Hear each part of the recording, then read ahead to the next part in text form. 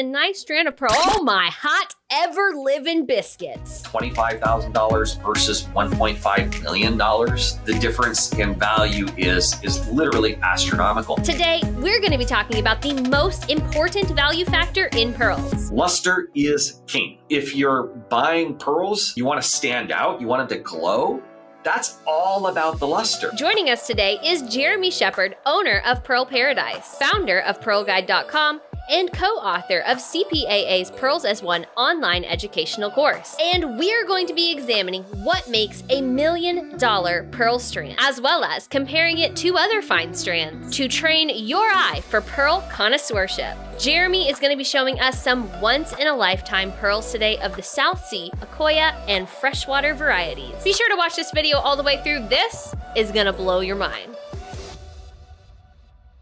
You want me to jump right into the goodies?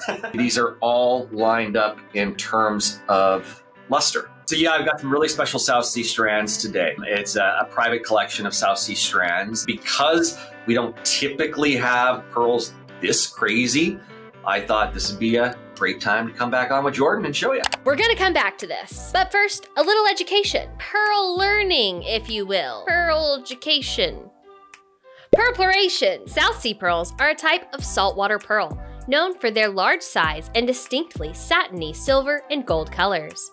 Pearls are categorized as either natural or cultured, with over 99% of pearls on the market being cultured, meaning farmed.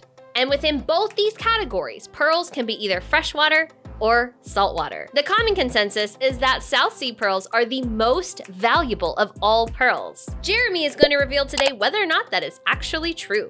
Unless you're talking about rare naturals, yes, common pearls can be much more expensive. Melo melo pearls can be much more expensive. But if you're talking about farmed pearls, cultured pearls, the pearls you see in jewelry stores, you know, from anywhere from Tiffany's to Mikimoto, it doesn't really matter. Those are all cultured pearls, of course. So there's four categories general categories of, of, pearls. You've got freshwater pearls, Akoya pearls, Tahitian pearls, and South Sea pearls.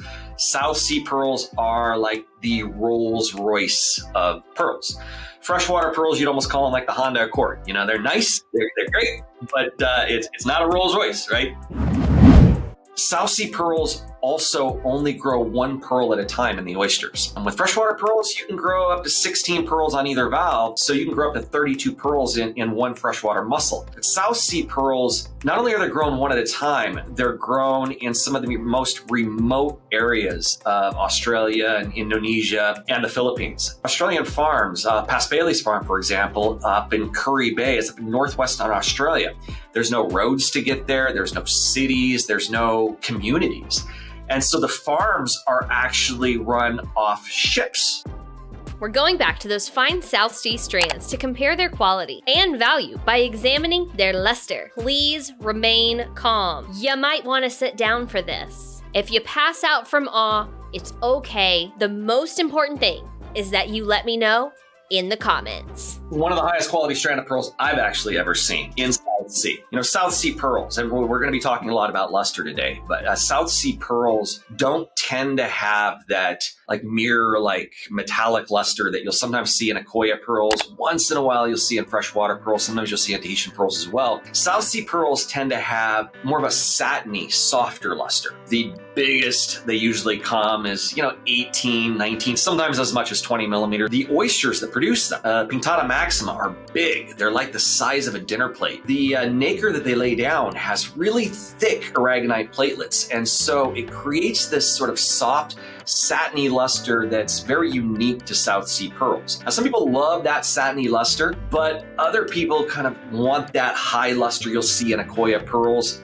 also in South Sea pearls, but it's really, really hard to come by. This is like more of a, a satiny type luster. You know, they're round, they have what we would consider pretty good luster for, for a strand of South Seas. And this particular strand is, I think, 14 to just over 17 millimeters in the center. That is a almost standard strand of South Sea pearls, you might want to call it. And then you get up to this.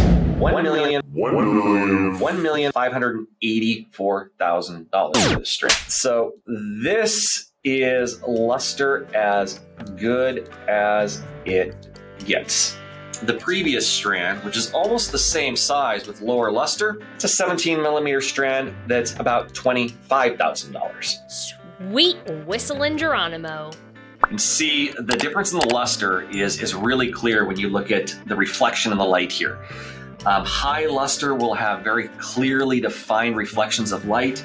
Lower luster starts to get a little bit fuzzier around the, the light. And also, if you look really closely in these pearls here, you can actually make out the camera, you can make out the, the shape of the light. You can make out differences in the background, the wall, etc. Luster is really the measurement of what's the quantity and the quality of light that's reflected from the surface of the pearl or just under the surface of the pearl. And that's an important point because the light travels through the layers of nacre. Some of the light will reflect from the surface of the pearl. So it'll reflect from the surface of the pearl, it'll bounce up, and then other light will penetrate the layers of nacre under the nacre and then bounce up. Basically, when the light bends and then another, you know, wave of photons or whatever diffracts and bends, the light crosses each other. And so it's called thin film interference and it creates this sort of like rainbow effect, an oil slick effect, um, uh, uh, also called orient, which is considered a very rare feature in, in saltwater pearls, but the finest of the fine pearls have have beautiful orient like that South Sea strand does. These are 17.2, and I'm showing this just because it's the best pair of South Sea pearls I have personally ever seen in my life. And I've seen a lot of pearls, Jordan. And that is to go with this strand. This strand is the same size and it has the same color. It's got white pink. The other one seems to have a bit more silver. What we're really seeing is the orient. It's really pouring out of the, the super high-end strand. This one is white pink, still a very, very high-end collection strand, you know, over 18 millimeters in the center. Um, still a six-figure strand hundreds of thousands of dollars of difference between between those two strands. You may have seen pearls graded from sellers as A, AA, AAA. Jeremy and I dive into exactly what that means in our video, How Not to Buy Pearls. But don't watch it yet, watch this video first, because we need to know, are there luster grading standards for pearls? None, zero. Grading is, is such a misnomer because it is completely, completely subjective. You know, I'll, I'll show you some more strands here just to give you an idea. These are all South Sea strands that are, they range from about 16 to the largest is about 20, 20 millimeters. Okay?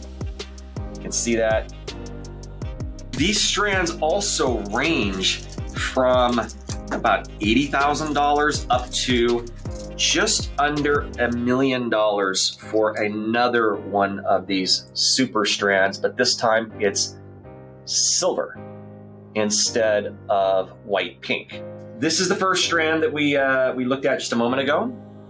And this is out of all the strands, the one that I would say has the the lowest luster. And and you know, I'll say lowest luster, but it's it's still a, a fine strand of South Sea pearls. This strand jumps up about a single point in luster, and you can actually start to see this because you can start to see the fuzziness around the light reflections start to disappear. And this particular pearl, 19.9 millimeters. Massive. They really don't get any larger than this. It really is just about as big as you can get in, in South Seas at, um, you know, 20 millimeter center 20 millimeter center with two 18 millimeter shoulders there. Yeah. It's crazy. Back to the luster here. Another strand up. The color is, is uh, white with a slight rose to it. The next strand has even slightly better luster. When I say slightly better luster, you can really barely make it out. Um, and the only way you can really see the difference in luster is when you're comparing them side by side. That slight difference just makes a dramatic, tremendous difference in value. So then this luster on this strand is just about as high as it gets. In fact, with this, I would call it the 9 out of 10. And then you get into these two. And these two are museum grade strands. They just really don't get any better than this. I can clearly see my reflection. I can see my my finger reflecting in the surface as I run it by. I can actually looking at it from an angle here, I can see my face reflected in it. It just doesn't get any better than that. The impact of luster, well, it's it's everything. It's headlights versus a, a nightlight in your closet, really, is what we're, we're talking about. And and that's the range. And so in our last video that we did, we talked about, you know, grading. And so often you'll see, you know, for luster, it'll just say good or or great luster or excellent luster. But that spectrum is well jeez you can have a spectrum that goes from from dull all the way up to mirror where it's like you're looking at a mirror when you're looking at the pearls in in, in the highest luster so if you were to get really really granular you could be looking at 50 plus different luster grades and so quantifying that and just like a this is a double A luster or something like that really just it doesn't mean anything. I promised you a comparison between high luster Akoyas and South Seas. Let's dive into the quality and value of Akoya and freshwater pearls and understand how they compare to South Sea pearls. So here's two strands of Akoya pearls. The larger strand has really, really fine nacre. And the smaller strand has, I would call it sort of a soft uh, medium nacre. It's not poor. You're not seeing the bead, but you can definitely see that the luster is not as deep. It's not as reflective. This I would consider a very fine, very fine luster. So this is considered, you know, a fine South Sea strand, a six-figure strand. Um, it's about $200,000. Now, with the Akoya pearls, again, we were talking about the reflection there. They're like little mirrors. Um, if we were to zoom in right here, you would actually see all the lighting behind me. You'd even see me from the angle. South Seas, you can see, slightly more subdued and subtle. But let's grab the super fine strand of South Seas. See that you're starting to get the same level of luster. And this is what really makes the South Sea strand so special is it has the luster of a fine, fine quality strand of Akoya pearls. This is a strand of what we call metallic, metallic freshwater pearls. And I've got some other metallics here as well, um, some souffles and such that I'll show you in a moment. But um, if you can see this, these are freshwater pearls. They're slightly off round, ever so slightly. Um, getting metallic luster in freshwater and getting round is extraordinarily difficult to do. More typical freshwater luster, the non-metallic actually has a better shape. So it's it's quite easy for us to to find freshwater strands that are that are really round, round with that luster. Not quite as easy. These are souffle pearls, and you can see that again, the luster is just phenomenal. And it and they've got that orient too that changes the colors. You can see like this pearl, for example. It looks like it's silver with gold around the edges. But then you turn it. Now silver's in the front. You know, it, now from this angle, it looks almost totally gold. You know, with freshwater pearls especially, Baroque is the, the least valuable. There are up to 1,500 metric tons of freshwater pearls produced in a year. Okay. The vast majority of these pearls are Baroque. If you want to go Baroque, I'm going to go with something like, if you're looking for value in Baroque, this is a Baroque strand. But that's a, that's a 20 millimeter South Sea strand. 20 millimeters in the center, 16 to 20. And that's diameter. So the, the length is probably up to about 25 millimeters on some of these pearls. You kind of see how the souffles compare to this.